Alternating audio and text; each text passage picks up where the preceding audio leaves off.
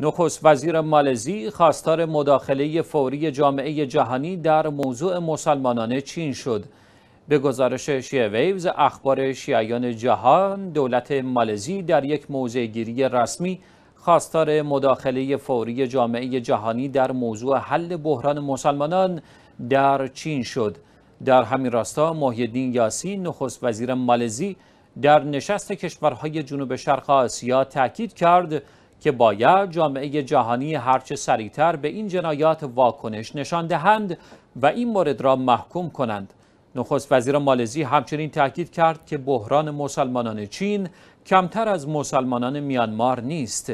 محیدین یاسین در ادامه اظهارات خود گفت وضع مالزی همکنون برای پناه دادن به مسلمانان مناسب نیست. لذا از دیگر کشورهای مسلمان و غیر مسلمان در جهان درخواست می کنیم به مسلمانان چین پناه دهند.